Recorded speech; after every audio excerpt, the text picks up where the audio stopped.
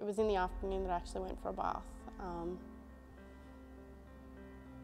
I started to get feel a bit dizzy, lightheaded, and thought that um, something was wrong. Couldn't breathe properly, so I banged on the wall to get the boys' attention. So I raced to her, and then she could she was struggling to breathe and struggling to talk. I was just like, I should stay calm, and then if I stay calm, my mum will stay calm, and then everything will be okay. Okay. Well, I quickly called Blake, and then Blake came, and then I got we I raced to grab the house phone to call triple zero. I told him our address, mum, the my mum's name, and my name.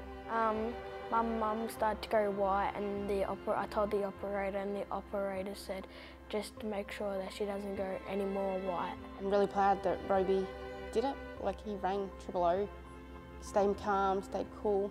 Yeah, I reckon the CFA and the juniors had a big part to play on how he learnt to stay calm, cool and collected when um, he had to make the call to triple zero. At least I'll be around to celebrate Mother's Day with the boys thanks to Ryobi.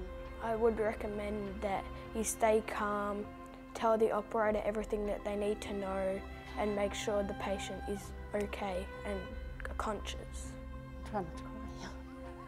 This Mother's Day I think I'll take her out and spend time with her. Yeah, the CFA's brought my kids out to shine, which is awesome. Hoping to have breakfast in bed would be nice. It'll be the first time ever.